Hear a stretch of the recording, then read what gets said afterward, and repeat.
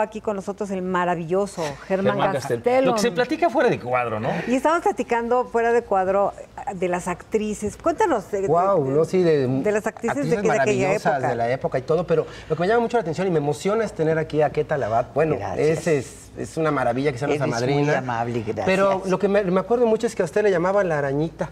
Sí, ¿cierto? porque Oh. no dejo el tejido. Ahorita ya estoy nerviosa porque no estoy tejiendo. Es como... Jorge Negrete Sí, le decía la arañita. La arañita. ¿De verdad? Mira, sí, no porque no creía que era posible que una niña tan jovencita tejiera. Me decía, allá en mi tierra, en Guanajuato, tejen mis tías, mi mamá, mi abuela, pero una niña como usted, ¿y qué va a hacer? Pues un mantel para cuando me case, don Jorge. Siempre en las pausas de las No. películas. Sí, ahí estaba yo, que- con que mi tejido. la arañita. La arañita. ¿Tienes gripa, amigo? Un poco, ando Sí, es que lastimado. tienes- no Ando ahí sí. con la garganta y todo.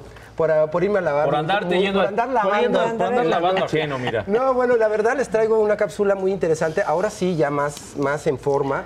eh, nuestra cápsula de teatro. ¿no? Una ¿Dónde cápsula, fuiste? vamos a hablar de teatro. Nos fuimos ahí a los teatros, al teatro, ¿cómo se llama este? El, el Centro Cultural México, que pertenece también a la familia de Manolo Fábregas. Muy, muy interesante. Una obra que nos lleva a una problemática donde la familia, bueno, la pareja, después de muchos años, busca como volver a encender ese, Ese fuego ese ya- fuego, ya ¿no? Y más, y es, y es muy sobre la época donde las parejas duran 3, 4, 5 años y se están divorciando. Aquí no, aquí llevan ya muchos años, más de 20, y tratan de cualquier forma. Y se dan cuenta que la compañía, la convivencia es lo que realmente los tiene unidos, ¿no? La necesidad como ser humano de verse a través de otro. Entonces volvemos a la situación de que el teatro es el reflejo social Ah, y por lo tanto claro, es muy importante ver este tipo de obras que nos vamos a reír mucho también, está muy divertida con un gran bien. señor César Bono, Ah, sí. que bueno, ya tiene toda una trayectoria en televisión también, dice de Buenísimo los actor. pioneros también decía Luis Jiménez, Sí, que fue de sus no, directores, sí, recuerdo ahí en, ahí en la Lotería Nacional y Raquel Garza. Pero vamos a verla Vamos a para que así sepan de qué trata.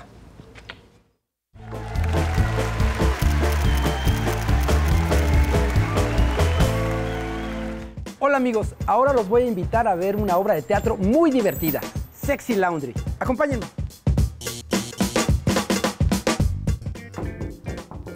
Adelante, Hola, pásale. hola, hola, Pásale.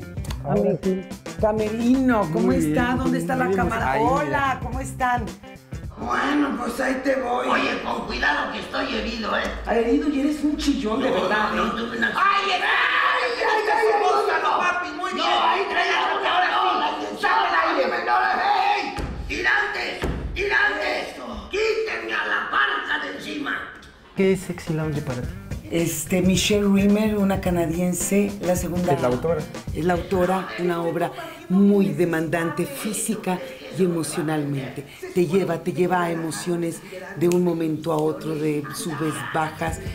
Y esos retos son los que, los que hacen interesante como- para mí como actor. Así me decía mi abuelín, hijo. La mujer en casa y con la pata rota. Estoy al lado de un, de un, de un señor que está enamorado del teatro, que ha hecho historia en el teatro en México. Cuando tú tocas, te toca interactuar con ese tipo de actores, no hay de otra más que crecer. A lo mejor. A lo mejor. ¿Qué quieres que estemos en el sofá platicando, apapachándonos y a lo mejor hagamos el amor mientras yo veo las noticias? Sí. ¡No! Esas son muchas cosas por hacer mientras yo veo las noticias. ¿Qué situación puedes ver similar a tu vida con la relación que existe en Sexy Laundry? Yo creo en el Los amor. personajes. Yo sí creo en el amor. Yo soy una Que sería, persona... lo, que sería el valor principal de la obra. Y, y- y- y creo que es lo que trata de rescatar y creo que la pareja sobrevive por amor, porque tú en 25 años tú vives muchísimas cosas con una, con una persona. eh, eh, eh, nacen tus hijos, mueren tus padres, mueren amigos. ¿Por qué estancarnos? ¿Por qué aburrirnos? ¿Por qué no vivir? Está mejor que yo.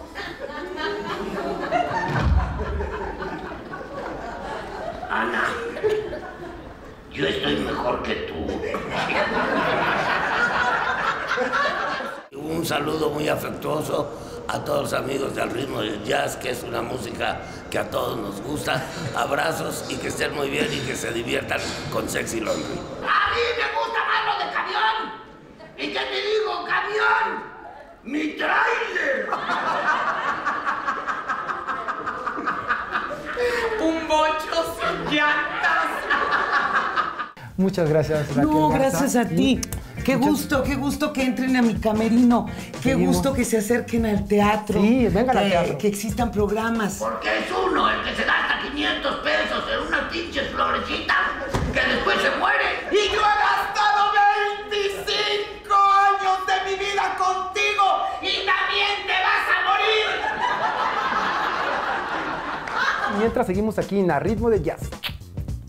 Y yo así mismo. Al ritmo del jazz.